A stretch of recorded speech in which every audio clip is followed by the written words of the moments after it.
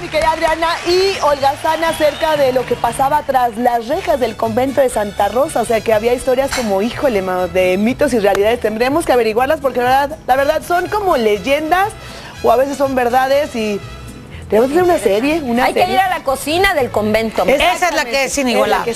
Ahí grabé, tuve la gran oportunidad de grabar en otro canal y la verdad era, me dio la oportunidad de conocerla, trabajar ahí en una bendición. Y bueno, hablando de bendiciones, miren nada más esta deliciosa ensalada que hicimos de nopalitos con berros, jitomates y jícama. Miren nada más que delicia. Facilísima de hacer, les va a encantar. La combinación de todos los sabores me pareció muy acertada, la verdad me gustó muchísimo. Y estamos en un mes patrio y este plato de talavera está muy lindo, pero les voy a presumir el otro, que sigue. ¿Qué sigue, Pepillo? Híjole, Pepillo, vean nada más este delicioso chile en nogada que hicimos. Lo hicimos a partir de poner a asar los chiles, los sudamos, los pelamos, los desemillamos.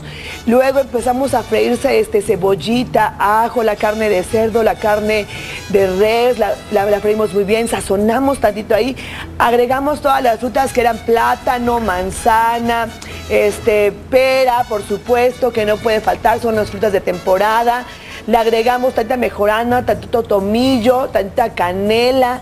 Le agregué también un sustituto de acitrón que ya no debemos de usar el acitrón, por favor, por nada del mundo, ya lo use. Cualquier fruta cristalizada le queda perfecto.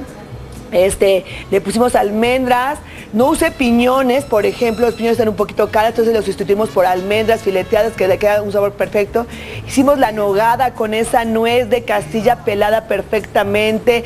Ya Adriana nos dio un tip de cómo, eh, cómo pelarla. Y luego le pusimos queso fresco, de este queso doble crema fresco. Por favor, no vaya a usar por ningún motivo ni queso de cabra ni el otro queso, por favor, se lo suplico. No es un sabor igual, es un sabor completamente diferente si usan el otro queso crema, por favor. Y bueno, este, le pusimos tanta crema con alto contenido en grasa, tanta leche, tantito jerez y tanta azúcar. Y bueno, la acompañamos por supuesto por granada y por perejil, que son los símbolos patrios después de que uno eso lo, lo ponía, ¿verdad? Pero ya nos desmin- desmintieron todo y bueno, pues ya ni modo, lo vamos a tener que seguir haciendo así y creyendo esa maravillosa historia. Luego, ¿qué hicimos, Pepillo?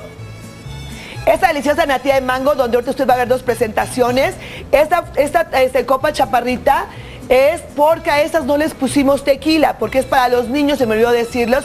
Y la copa alta sí tiene tequila, por supuesto, es una martinera para hacer esa natilla, que estuvo muy fácil de hacer, la verdad. Una natilla normal, la puede acompañar por cualquier fruta que usted guste. Eso la acompañamos por mango, porque bueno, fue la opción que teníamos aquí, tenemos unos manguitos y los quisimos aprovechar. Pero puede usted, puede usted pera, manzana, ciruelas, nectarinas, durazno, lo que usted quiera.